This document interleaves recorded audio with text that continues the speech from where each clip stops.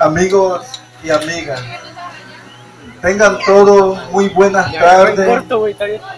Hija, quiero decirte que me siento muy contento y orgulloso de presentarte delante de esta noble sociedad.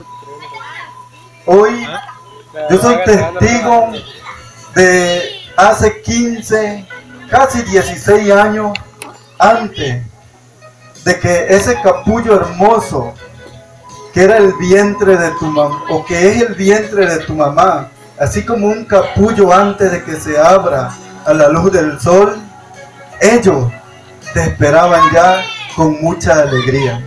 Y de esa alegría participábamos ya también tus abuelos que no están hoy, pero que se hacen presentes espiritualmente, tus abuelitos, tus tíos que también nos llenábamos de ilusión al saber que ya pronto estabas a punto de llegar. Y cuando el Creador así lo quiso, llegaste a este mundo. Y llenaste de alegría, yo te lo puedo asegurar, la vida de tus papás. Hoy ¿Cómo ha sido la vida de Marisela? Yo les aseguro que Marisela es una niña o una muchacha o jovencita de veras obediente, que ha sabido ganarse el cariño de todos sus familiares y de, y de todos los vecinos que aquí vivimos. Marisela es tan noble y un ejemplo como hija que de hecho quiero decirle, voy a poner en evidencia a mi cuñado, que nunca ha tenido la necesidad de darle un cuartazo, de darle una cachetada.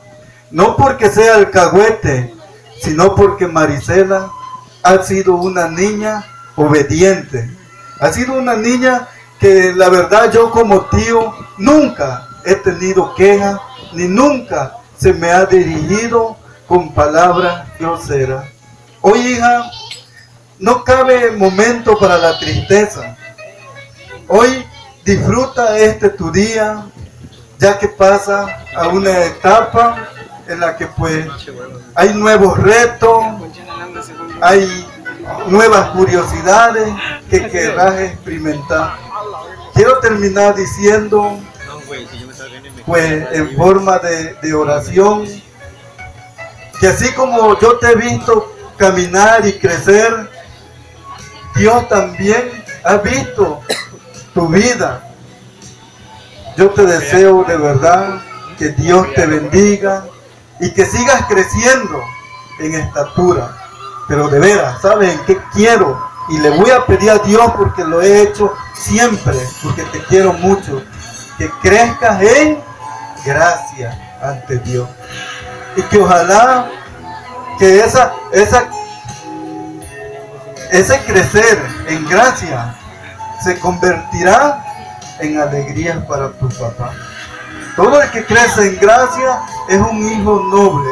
Entonces sigue echando ganas como lo has hecho y que Dios te bendiga. Hermanos, como sociedad, con estas palabras termino.